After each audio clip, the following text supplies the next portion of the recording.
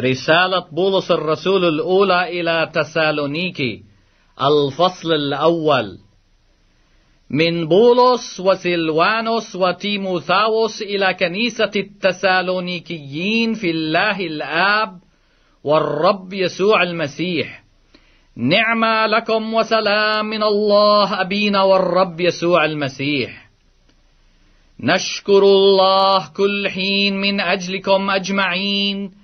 ذاكرين إياكم بلا انقطاع في صلواتنا متذكرين أمام الله وأبينا عمل إيمانكم وتعب محبتكم وثبات رجائكم في ربنا يسوع المسيح.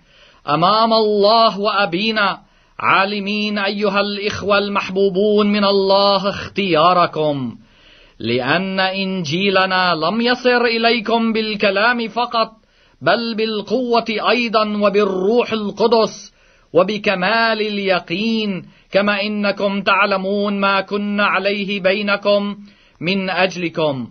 وقد صرتم أنتم متمثلين بنا وبالرب إذ قبلتم الكلمة في ضيق كثير بفرح الروح القدس حتى صرتم قدوة لجميع المؤمنين في مقدونية وفي أخائية. فإن كلمة الرب قد أذيعت من قبلكم ليس في مقدونية وأخائية فقط بل قد ذاع إيمانكم بالله في كل مكان حتى ليس لنا حاجة أن نقول شيئا. فإنهم هم أنفسهم يخبرون كيف كان قدومنا إليكم وكيف رجعتم إلى الله عن الأوثان. لتعبدوا الله الحي الحقيقي وتنتظروا من السماء. ابنه الذي أقامه من بين الأموات يسوع الذي ينقذنا من السخط الآتي. رسالة بولس الرسول الأولى إلى تسالونيكي. فإنكم أنتم أيها الإخوة تعلمون أن قدومنا إليكم لم يكن باطلا لكن مع أننا كنا قد تألمنا قبلا وأهنا في فيلبي كما تعلمون. تجرأنا في إلهنا أن نكلمكم بإنجيل الله في جهاد كثير. فإن وعظنا ليس عن ضلال ولا عن دنس ولا بمكر بل نتكلم كمن اختبرهم الله ليأتمنهم على الإنجيل. لا كأننا نرضي الناس بل الله الذي يختبر قلوبنا. فإننا لم نستعمل قط كلام التملق كما تعلمون ولا كانت لنا عله نخفي الطمع. الله شاهد. ولا التمسنا قط مجدا من الناس لا منكم ولا من غيركم. مع أنه كان في وسعنا أن نستعمل سلطاننا كرسل المسيح بل كنا مترفقين فيما بينكم كما تحن المرضع على أولادها. هكذا كنا من شدة الحنين إليكم. نرتضي أن نشارككم لا في إنجيل الله فقط بل أنفسنا أيضا لأنكم قد صرتم احباء إلينا.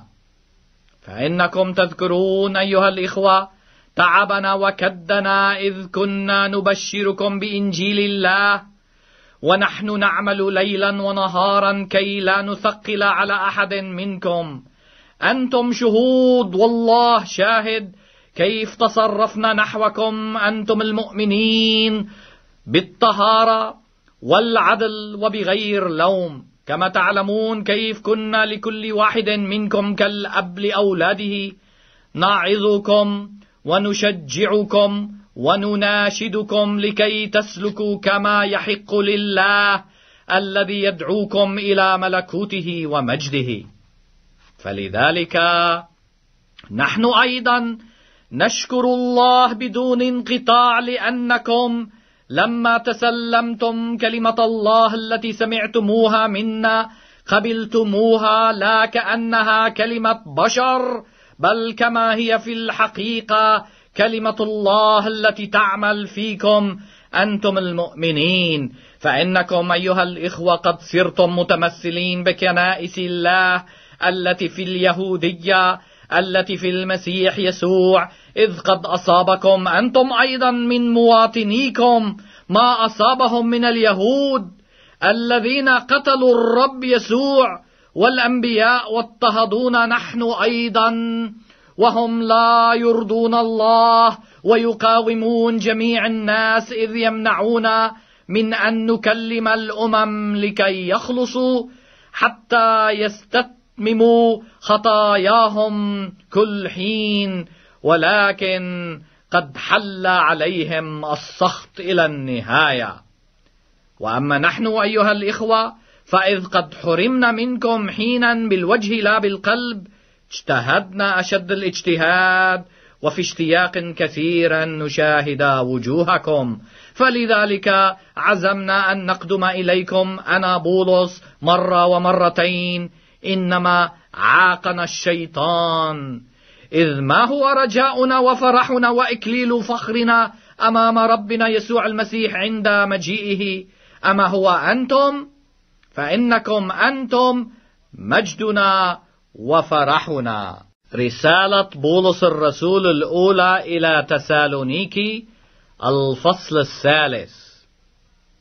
فمن ثم لما لم نطق ذلك آثرنا أن نبقي في أثينا وحدنا وأرسلنا تيموثاوس أخانا وخادم الله معنا في إنجيل المسيح ليثبتكم ويعظكم في إيمانكم كي لا يتزعزع أحد في هذه الضيقات فإنكم تعلمون أننا قد نصبنا لهذا فإننا لما كنا عندكم سبقنا فقلنا لكم إننا سنعاني ضيقا كما قد جرى وأنتم تعلمون.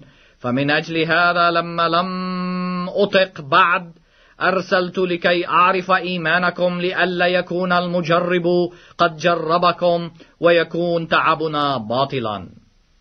وأما الآن إذ قدم تيموثاوس إلينا من عندكم وبشرنا بإيمانكم ومحبتكم وحسن ذكركم لنا كل حين وأنكم متشوقون أن ترونا كما إننا متشوقون أيضا أن نراكم.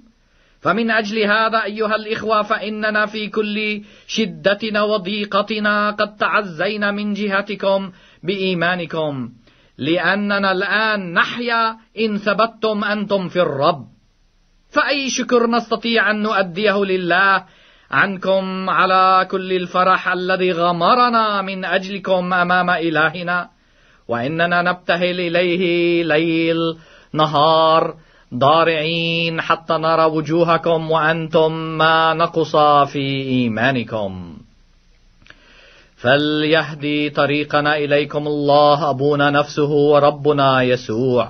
وليجعلكم الرب تنمون وتفيضون بالمحبة بعضكم لبعض وللجميع كما نحن أيضا لكم. لكي يثبت قلوبكم بغير لوم في القداسة أمام الله أبينا في مجيء ربنا يسوع مع جميع قديسيه. رسالة بولس الرسول الأولى إلى تسالونيكي الفصل الرابع. وبعد أيها الإخوة فكما تسلمتم منا كيف يجب أن تسلكوا وترضوا الله وذلك ما أنتم فاعلون. نسألكم ونحثكم في الرب يسوع أن تزدادوا في ذلك أكثر فأكثر. فإنكم تعلمون أية وصايا أعطيناكم بالرب يسوع فإن هذه هي إرادة الله قداستكم بأن تمتنعوا عن الزنا وأن يعرف كل واحد منكم أن يصون إناءه بالقداسة والكرامة لا في هوى الشهوة كالأمم الذين لا يعرفون الله وأن لا يعتدي أحد على أخيه في هذا الأمر ولا يظلمه لأن الرب هو المنتقم لهذه الأشياء كلها كما قلنا لكم من قبل وشهدنا لكم. فإن الله لم يدعنا إلى النجاسة بل إلى القداسة. إذا من يرذل هذا فلا يرذل إنسانا بل الله الذي أعطاكم أيضا روحه القدوس. وأما المحبة الأخوية فلا حاجة لكم أن أكتب إليكم فيها فإنكم أنتم أنفسكم قد تعلمتم من الله أن يحب بعضكم بعضا. فإنكم تصنعون ذلك نحو جميع الإخوة الذين في مقدونية كلها. وإنما نحثكم أيها الإخوة أن تزدادوا في هذا أكثر فأكثر. وأن تحرصوا على أن تكونوا هادئين تعملون ما يعنيكم وأن تشتغلوا بأيديكم كما أوصيناكم لكي تسلكوا سلوكا لائقا لدى الذين هم من الخارج ولا تكون بكم حاجة إلى أحد. ولا نريد أيها الإخوة أن تجهلوا ما يختص بالراقدين لكي لا تحزنوا.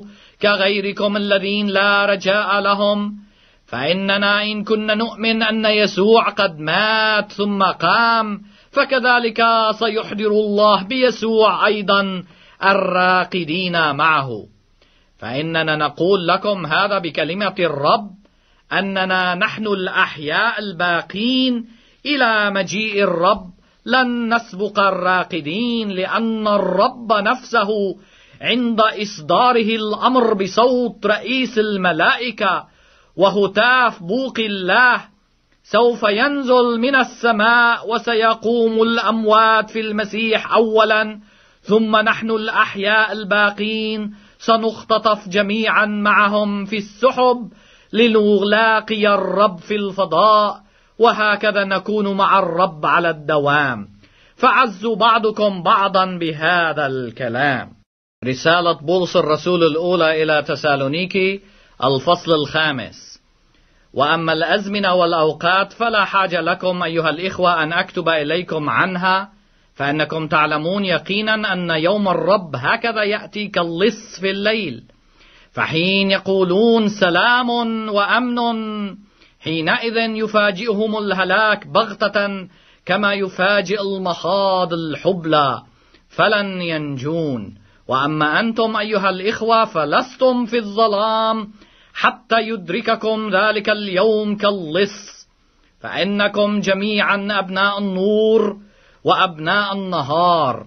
إننا لسنا من الليل ولا الظلمه فلا ننم اذا كالآخرين بل لنسهر ونصحو.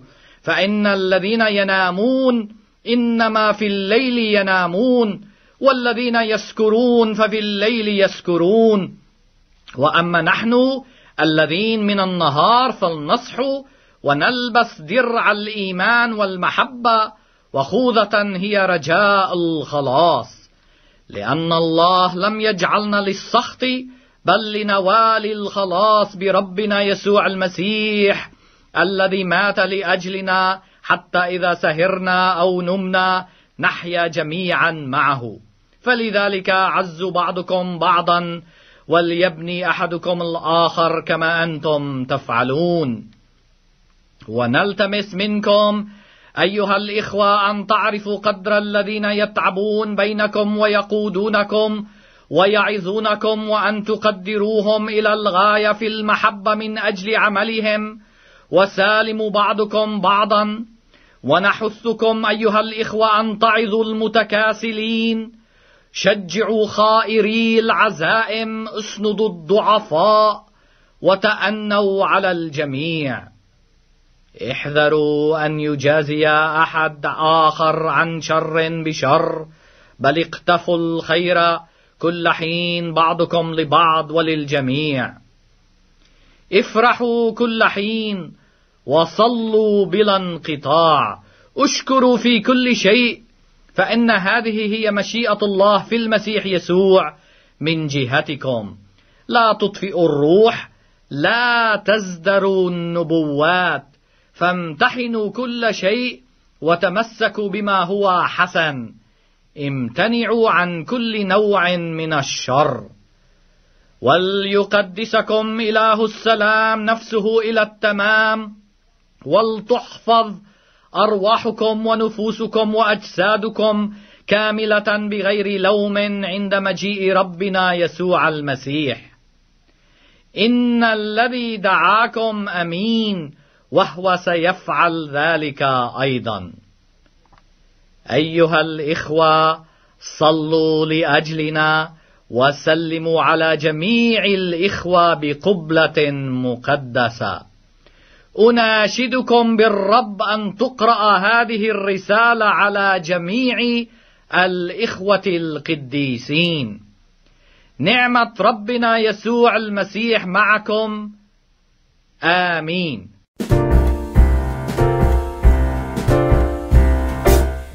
We wish you a